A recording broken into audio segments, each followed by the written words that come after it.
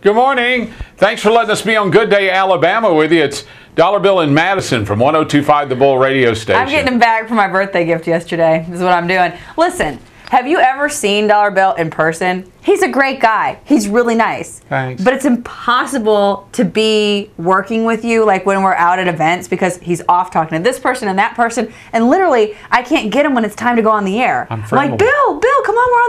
I'm Uh, gregarious. Just hang on a second, Madison. So I've tried a leash yeah, and harness. it broke. Um, we've tried every. I've tried everything I could think of to get Bill to stick around at remotes and out at events and stuff. It's impossible. I just, I just I complain about it all the time. But I heard about a product today that might be perfect. It's actually a temporary tattoo for kids that you put your telephone number on, and then if they get lost, then you can get called. So Well, that's a good idea. I'm gonna write it on your forehead. Well, what are you doing? Wait, wait, oh no, I'm getting out of here. it still works.